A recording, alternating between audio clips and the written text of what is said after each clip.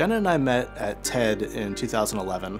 Her sculptures have this wonderful dynamism. I'm an artist who works with public space. I take soft materials and make shapes the size of buildings.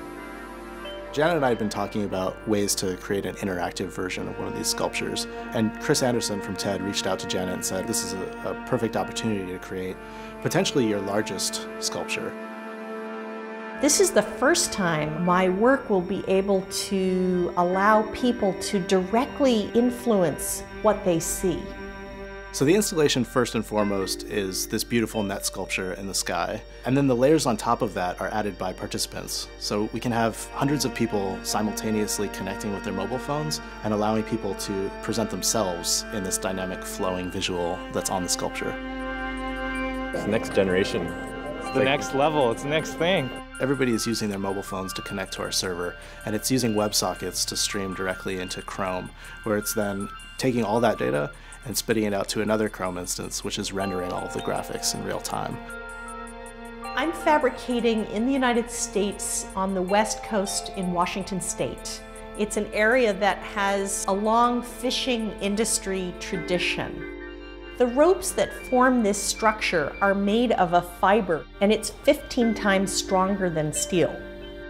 It's being braided and we are then hand splicing those ropes into this structure. This has been one of the most challenging installations because it's in the middle of an active city. We've been installing this every night, tightening up the ropes, lifting this into the air. There have been a lot of unknowns as we've been trying to get this sculpture in place. Uh, everything from physically the net actually getting caught in a tree on the way up, and then plenty of time trying to untangle and lift it, to the tensioning to actually moving the sculpture 50 feet to the side at one point.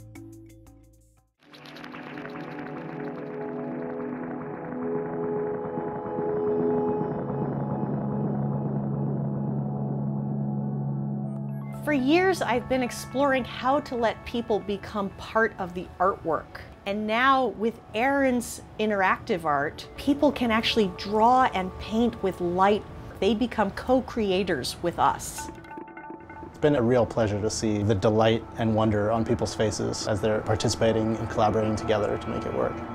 I've never thought about using my phone this way at all. No. And so today doing it, unreal.